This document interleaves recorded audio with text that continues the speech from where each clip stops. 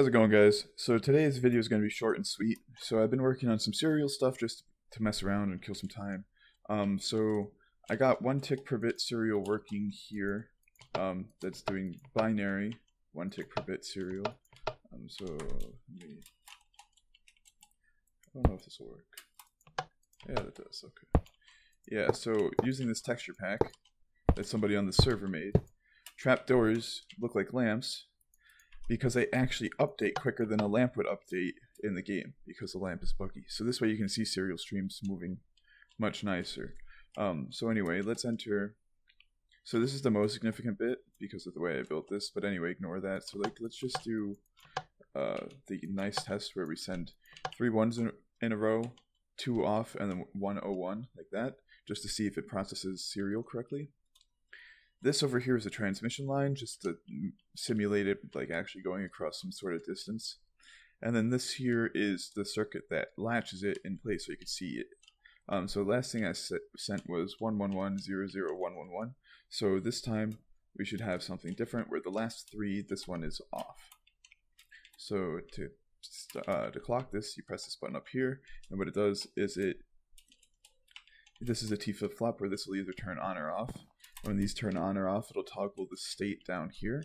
And when you toggle the state down here, these um, observers will update. And when you update an observer, it pulses at a one tick pulse. So what you do is you send this one tick pulse before that one, before that one, and you just you delay them like that, and that's how you get a serial pulse coming through here. This here is meant for me to watch it just to make sure that it was encoding correctly uh, at the first stage. And then I had like a similar thing over here, but it was working, so I got rid of it. Um, so anyway, if we watch it while I press this button, so you can see we move across here like that, it comes in, and we latch in 111-00101. And the way this works is, this here is enough time, is timed for the delay of this signal here, plus the delay of 8 ticks for this here. So that's how this delay works, it's, it's timed on that delay, and then this is an S, uh, RS NOR latch, or an SR latch, whatever you want to call it, where there's eight ticks of delay on the reset. So what'll happen is, if, if you watch, when I press this button, it turns off for eight ticks because what happens is it powers through here and gives eight ticks before it resets. So you can make a, any delay length timer using a system like that. But now I want to show you something neat, uh, which is two tick per bit, or two tick per analog bit serial. Okay, so over here you can see something that looks a little bit different than that serial device, and this serial device is actually operating on analog values. So what we can do is we can reset all of our values, turn them all off, so we can enter some new ones. What I can also do is clear this here with this button, and then we can get ready to send in some new data. So let's send in some random data. If we look at what we sent, first thing that's going to go in, oops, is a 5, and then a 10. Oh, I always seem to do that. 5 and then 10. And then we're going to get a 4, and then a 10 again. 5, 10, 4, 10. Huh? Maybe this shouldn't be 10 though.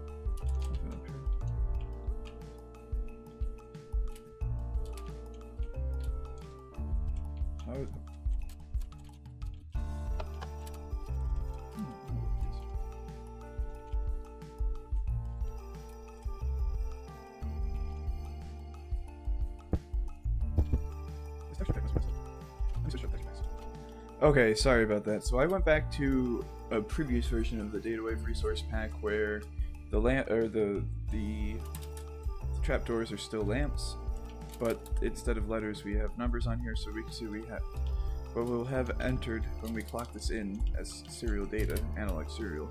We will have 5, 10, and then we will see what's this? 4, 13. So it'll go 5, 10, 4, 13. So here we will see 5, 10, 4, 13. Or, or sorry, it'll go 5, 10, 4, 13 like that. Sorry. Anyway, so when we clock this here, what'll happen is it'll allow the, the signal to come through, the analog signal through, and then it delays it by two ticks. Then what it does is it goes through this transmission line, which is an, a very efficient analog transmission line, where the, it's one tick per 15 signal strength for any 15 signal strength, which is nice. So you enter one here, it'll come out here, or, or you enter one signal strength, it'll come in here, come through here, go through this one only, and not that one. So you'll get out one signal strength every time, and so it's a it's a very nice busing technique. I'm sure you guys have seen it.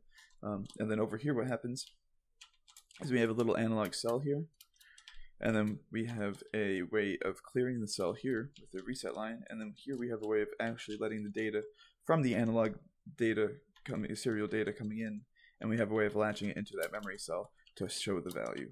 So what this delay is, is this delay is just like that delay over there on top, where it's timed for the delay in the transmission line plus the delay required to hold this open. So let's clock it, and we follow it out here. And you will see we have a 5, a 10, a 4, and a 13, just like that. So let's change up some of the values.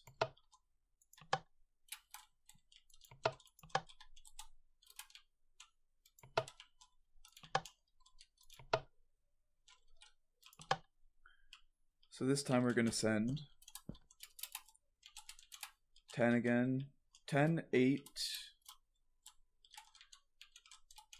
10, 8, 2, and 14, I believe.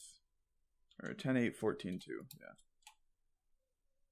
10, 8, 14, 2. So let's clock it.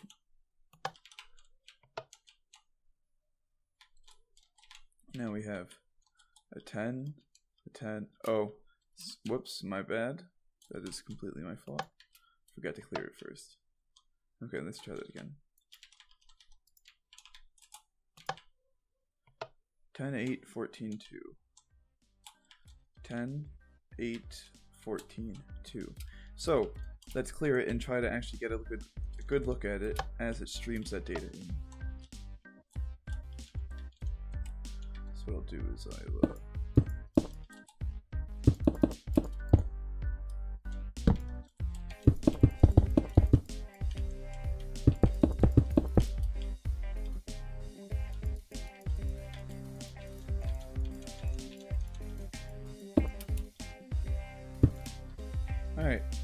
here will be our button.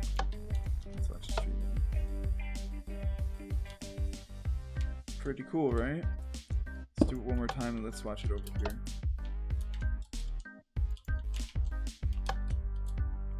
So it streams in and then it clocks it and then boom, comes through. And then it's lossless, so we have 10, 8, 14, 2. So this works every time. So here's the thing. This is two pit two ticks per four bits. So it's one tick every two bits. So you could say this is two bits per tick, which is nice. This is two, two bits per tick that we're able to send. It's double the data that we're able to send the signal, the serial, where it's one tick per bit here, or one bit per tick, I guess I should say. This is two bits per tick.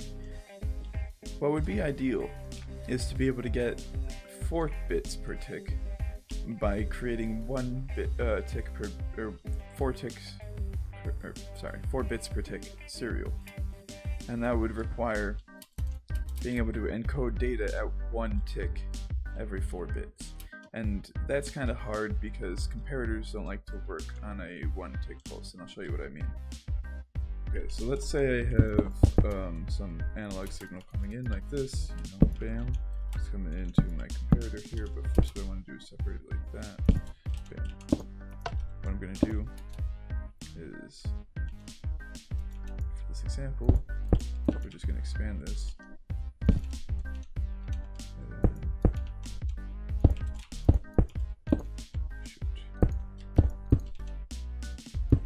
There we go. Okay.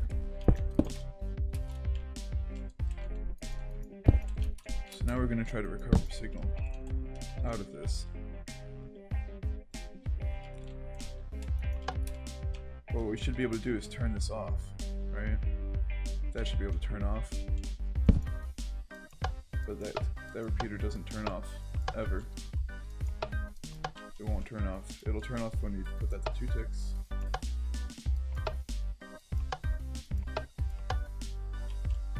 So we gotta find a mechanic that'll allow one one tick to allow four bits through. And the reason you're able to say it's four bits is because zero through fifteen is sixteen states and two to the four is sixteen. So four bits is the amount of data held in one analog signal. So I'm hoping to be able to actually do something useful with this stuff, but uh, I'm just messing around with it for now. And let me know if you guys liked the video, and I'll see you next time. Bye.